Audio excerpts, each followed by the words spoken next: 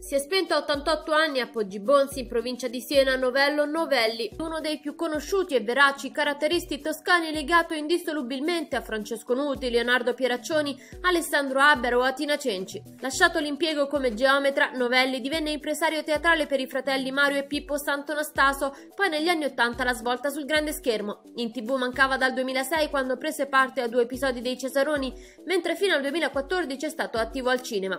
Lungo e duraturo il suo dalizio artistico artistico con Francesco Nuti.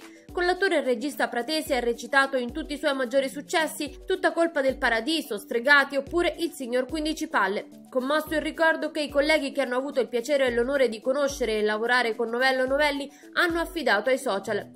Leonardo Pieraccioni ha scritto Ciao Novello, più caldo l'addio di Anna Falchi che pubblicando una clip di Miracolo Italiano ha scritto Ho appena appreso che Novello Novelli è volato in cielo, era il lontano 1994 e come dimenticare Miracolo Italiano. Anche Ivan Zazzaroni si affida ai social. Novello Novelli rappresentava una sorta di certificazione DOP. Se lui era presente anche soltanto per un cameo, il film era una commedia toscana e di successo. Carlo Conti su Instagram ricorda Ciao Novello, amico delle nostre feste in casa al Manila e in tanti altri locali toscani.